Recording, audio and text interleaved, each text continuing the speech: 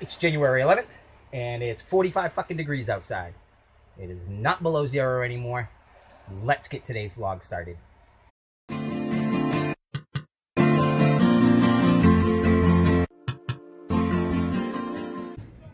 New Mountain Dew we have at our store called Mountain Dew Ice. I'll review it in a little bit. All right, Mountain Ice by Mountain Dew. It's a new drink they have. Lemon lime citrus. And it's clear, but it's still got all the caffeine. Well, that's good. Tastes like uh, Mello Yello.